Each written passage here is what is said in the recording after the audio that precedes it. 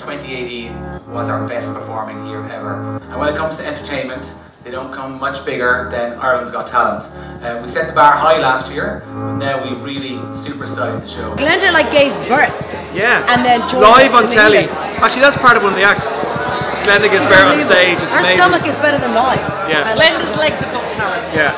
Yeah. Oh my god, you can expect a much bigger and better show than last year. Um, obviously, people with lots of talent, people with not so much talent, but they're entertaining. It was the Summer of Love or the Summer of Love Island. Um, over 10.5 million streams alone of Love Island Ireland. And each episode, if you look at all platforms, was watched by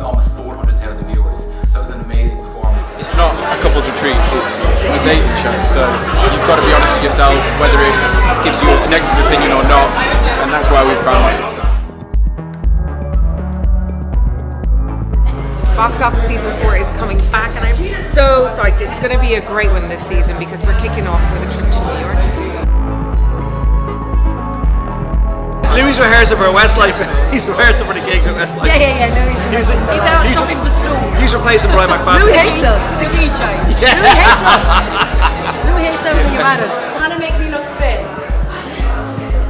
Liquor's in, pants on. There's a lot of husband wife acts, um, father and daughter. They're all the good ones. Most casual sports fan is recognising that what we're seeing at the moment from Ireland